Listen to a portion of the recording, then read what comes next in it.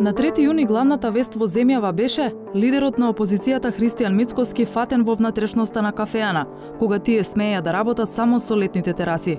Па во сенка остана драмата која се случуваше во Кратовско предходната ноќ. Група полицајци оставиле цело село без сон.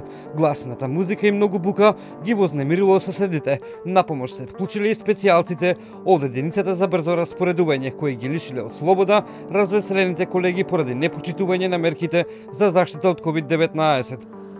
Веќе следниот ден случајот доби и партиско-политички контекст.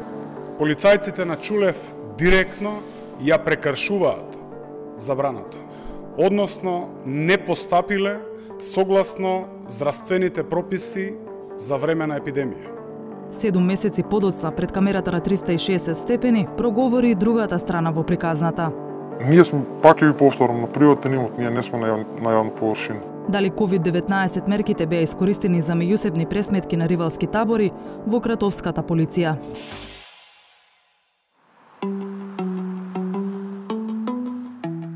Во оваа викендичка на 2 јуни годинава се случи редок настан. Полицајци да апсат полицајци. Настаните почнуваат попладнето кога шестмина колеги се собираат во приватен објект, собственост на еден од присутните. Еден полицаец, инаку симпатизер на СДСМ, треба да чести за прва плата, па за да помине поевтино, наместо во кафеана, одат во викендичката. Полицаецот домакин е член на ВМРО ДПМН. Далеко од забава, значи беше ручек со колеги од иста смена што постојано работиме заедно. Подоцна, на групата и се приклучуваат двајца повозрасни жители од околината. Поминуваат тука покрај имотот на Александар и од косења беше почнало да, да роси онака да, да врне и не замолија да влезат ако можат на имотот да се засолнат. Александар им дозволи да влезат, влегува внатре, седнаа на, на, на ручекот, им дадовме по едно пиво. Станавте 8? Станавме 8, да, така. Така. Трета тура гости се уште двајца полицајци кои вршеле обиколка на теренот. Но потоа доаѓаат и несакани гости.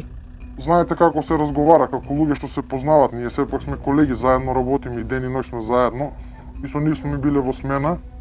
Почнавме да правиме молби, значи велам 2 до 5 минути поминаа, се појавија старешините, ма ни побара лични карти. Александар ги праша дали имаат налог да да влегуваат на приватен имот, при што истите му одговорија дека има. Значи сите што бевме тука ни рекоа дека сме лишени од слобода. Апсењето не оди лесно. Според нашиот соговорник, собраните во викендичката одбиле да се упатат во полициска станица, бидејќи им било наложено да одат со приватни возила, а тие веќе пиеле. Затоа старешините викнале за силување. На крај, интервенираат посебни полициски единици. МВР првично објави видео па го повлече, Во медиумите остана оваа ексклузивна снимка на еден медиум.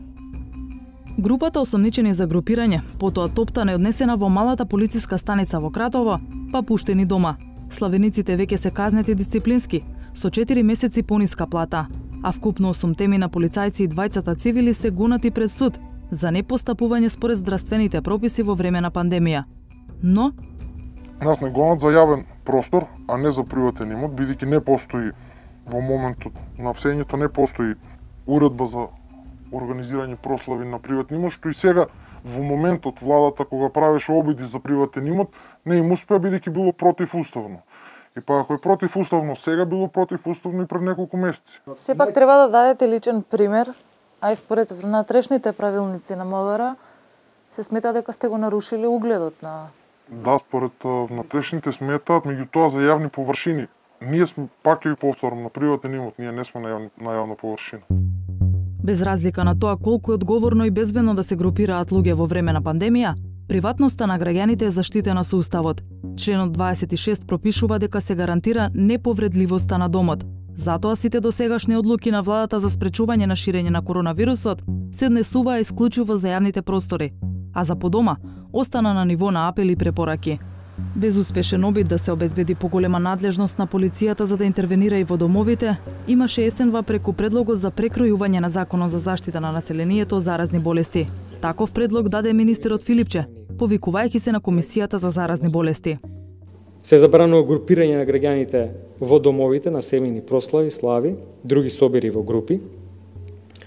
Во едно живеалиште станели куќа собствениците дозволено да примат најмногу 4 луѓе, односно на семеен настан, да бидат сите кои се соживеалиште на таа адреса плюс најмногу четворица други. Ова најде на бура реакција во јавноста поради неуставноста на предлогот.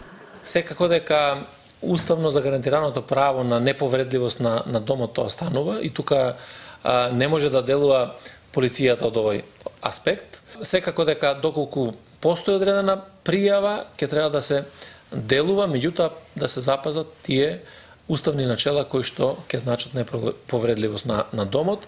Владата соопшти дека е необходна измена во Законот за заштита на населението од заразни болести, за да може полицијата да интервенира дома.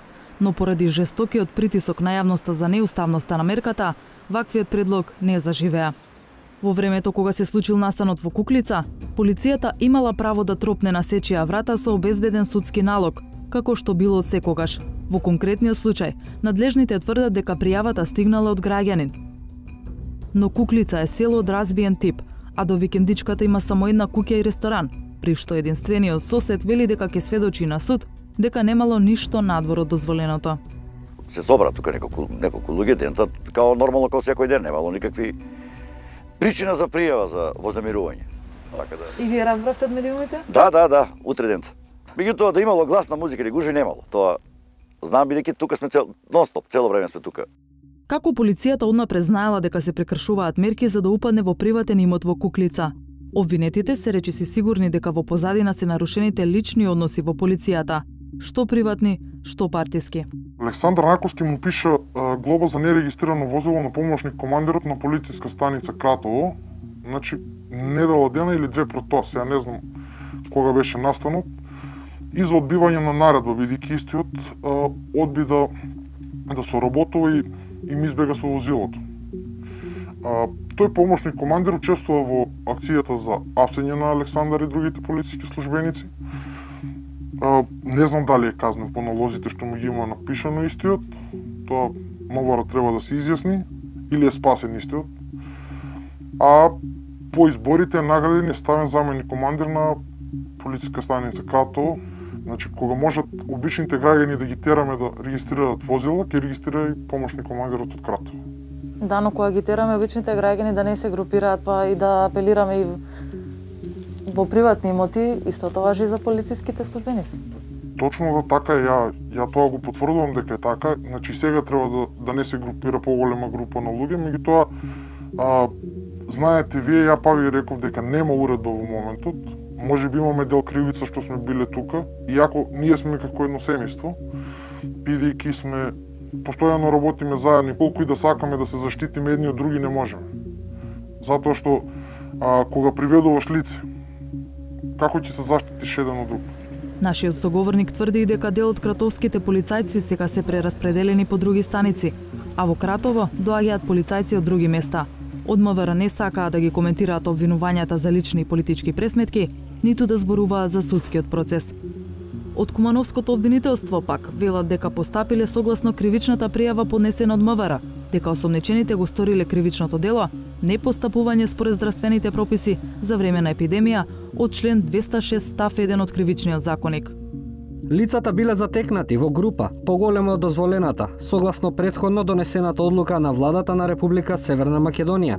Имено, поради прогласената пандемија, владата на РСМ донесе низа мерки и прописи со кои беше ограничено движењето и групирањето на граѓаните, меѓу кои и забрана за одржување настани и секаков вид на јавни и приватни собири. Ако се разгледаат службените вестници од периодот на вонредната состојба, не може да се најде таква уредба за каква што говорат од обвинителството. Единствено, има уредба со законска сила од 20 март која се однесува на Законот за јавни собири, а со која се забранува одржување на јавни собири. При тоа, воопшто не се споменуваат приватни собири или собири на приватен имот. Обвинетите од случајот Куклица се надеваат дека судот ќе пресуди во нивна полза. Се надам дека судиите ќе излезат попаметни од нашиве во МВР и ќе знаат добро да го толкуваат законот и да да не ослободат. Судскиот спор се води во Кратовскиот суд. По две одложени, осомничените се надеваат дека по нова година конечно ќе се одржи првото рочиште. Собирот по Куклица не е модел на однесување што треба да се следи, но докаде оди надлежноста на полицијата, подсети министерот за здравство во пресрет на празниците. Тоа станува на свеста и на совеста на граѓаните. Нема друг механизам во овој дел, за жал. Не може да тука следи некаква забрана со оглед на тоа што интегритетот на домот е загарантиран со Уставот.